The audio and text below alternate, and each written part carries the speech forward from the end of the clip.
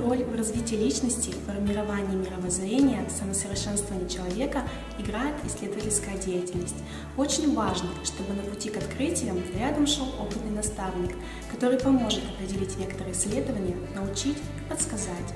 В моей жизни таким человеком стала Наталья Ивановна Коенева. Под ее грамотным руководством были написаны две работы, которые не только помогли воссоздать страницы жизни моих родных и обратиться к истории моей малой родины, но и стали бесценным источником полученных знаний.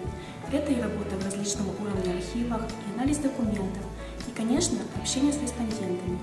Но самым ценным опытом не только работы, но и общения с Натальей Ивановной считаю то, что все полученные знания умело использую в своей профессиональной деятельности, являясь преподавателем техникума. Под моим руководством также защищаются студенты, выставляют свои работы на достойном уровне, занимая призовые места. За полученный опыт и знания спасибо Наталье Ивановне. Добрый день, меня зовут Кузнецова Арина, и я на протяжении пяти лет занималась исследовательской деятельностью у Кореневой Натальи Ивановны.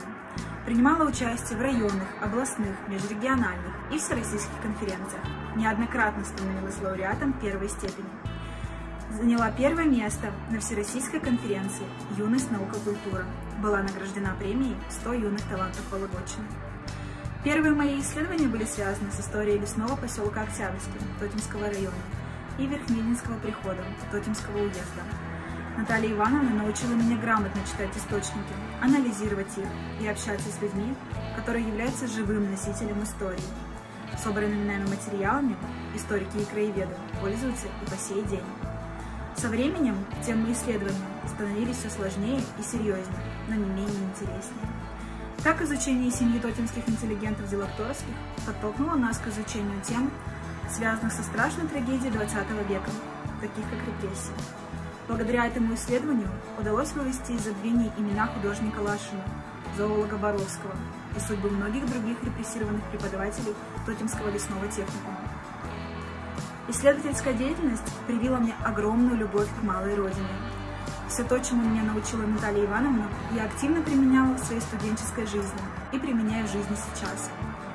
Несмотря на то, что я уже несколько лет живу в городе Санкт-Петербург, и моя работа не связана с краеведением, я с любовью и трепетом вспоминаю свой родной город Тотьма. Ведь любовь к отчизне начинается с любви к своей малой родине, месту, где человек родился. Со временем эта любовь переходит в любовь к своему государству, его истории, а затем и ко всему человечеству. Всей душой собираю материал порой по крупицу, тяну за каждую ниточку, ищу словно клад. И в этом мне повезло. Повезло с моим научным руководителем. Коренева Наталья Ивановна, заместитель директора Тотемского музейного объединения. Наталья Ивановна – это человек с огромной выдержкой, любовью к прошедшим временам и истории.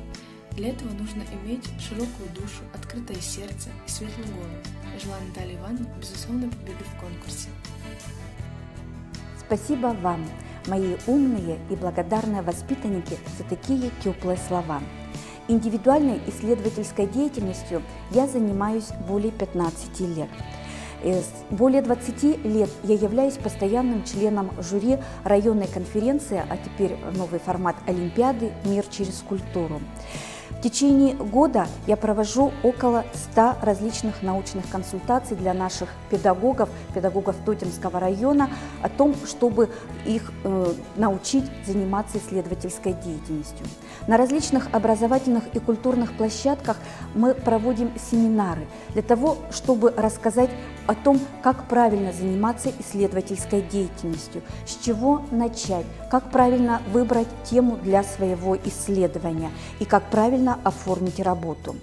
И результат этой многолетней работы, конечно же, есть, потому что достаточно высокий процент учащихся школ Тотьмы и Тотемского района принимает участие и в областной олимпиаде «Мир через культуру». И причем многие становятся не просто лауреатами и участниками этой олимпиады, но и победителями. И когда ко мне подходят люди, желающие заняться исследованием, и задают вопросы, а с чего начать, я всегда им говорю – что есть золотое правило – начните с себя. Начните не только с себя, начните и со своей семьи. Потому что в каждой семье есть архив, есть фотографии, есть документы, есть какие-то вещественные предметы и памятники, которые связаны с историей этой семьи.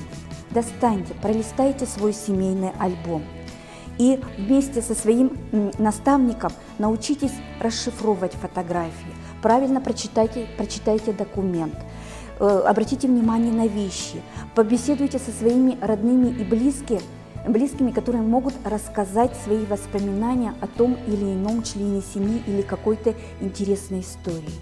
И все это затем может быть удачно трансформировано в рассказ интересный рассказ о своей семье или каком-то члене этой семьи, или интересном предмете, интересной фотографии. И вот, пожалуйста, ваше первое исследование. И если эта работа вас захватит, то вы дерзайте, продолжайте дальше.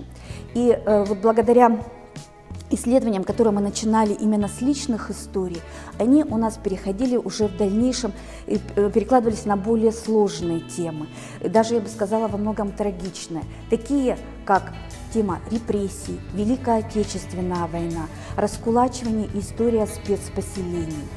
И это уже другой, более высокий исследовательский уровень.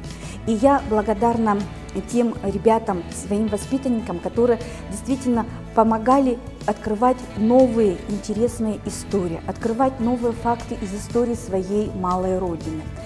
Почему благодарна? Потому что все их работы не прошли незаметно для истории края и в том числе для нашего музея. Многие из них воплощены на наших экспозиционных площадках, которые вы можете видеть э, очень ярко, например, в Советском зале Краеведческого музея. Здесь есть и стена памяти со списками тех э, мечей, кто был репрессирован. Здесь представлена и трагичная судьба семьи Дилакторских, которые тоже были репрессированы, и Людмила Васильевна погибла в лагерях. Здесь представлена и история многих спецпоселений э, и личная история отдельных спецпереселенцев 30-50-е э, годы, которые были на, жили на территории Тотемского района. Об этом можно рассказывать и говорить очень много и долго.